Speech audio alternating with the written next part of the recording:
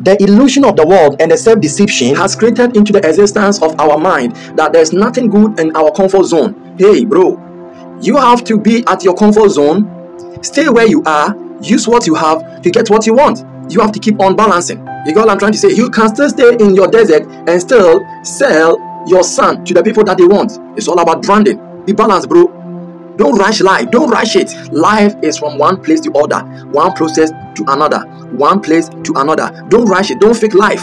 Guess what? The best solution ever is for you to move from your comfort zone or use what you have at your comfort zone and sell it at somewhere else that you can get more returns from it.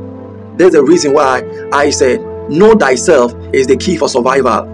Know yourself, know what you have, know your purpose, and go and sell it out. Go and sell your vision out. Go and sell your ambition out. Go and sell your goals out. Work it hard, work it out, and it will work for you. Everything is possible.